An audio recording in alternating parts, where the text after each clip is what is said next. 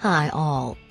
Today we are going to demonstrate how to install Spark 2.1.1 on Windows 7. What is Spark?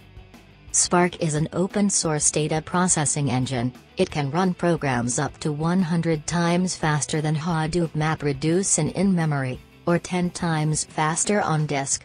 Spark utilizes Hadoop environment in order to run Yarn Resource Manager in cluster mode.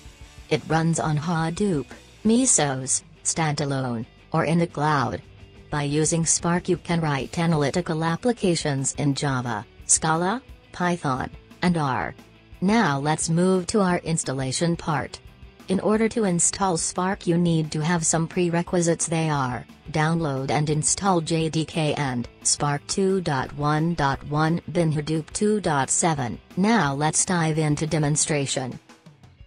Now let's dive into demonstration. Extract Spark 2.1.1 bin Hadoop 2.7 file in the same location. Create TMP and Hive folders as shown.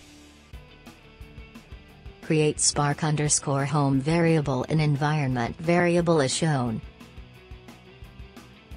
Then open command prompt and navigate to Spark installation folder, and then paste the winutils.exe path and Hive path and give write permission to Hive folder by using chmod 777 command. By this you are done with Spark installation.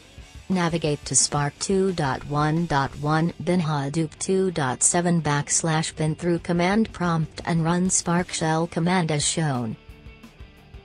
Open browser and run localhost colon 4040 to check running Spark jobs. This is how you can install Spark in Windows.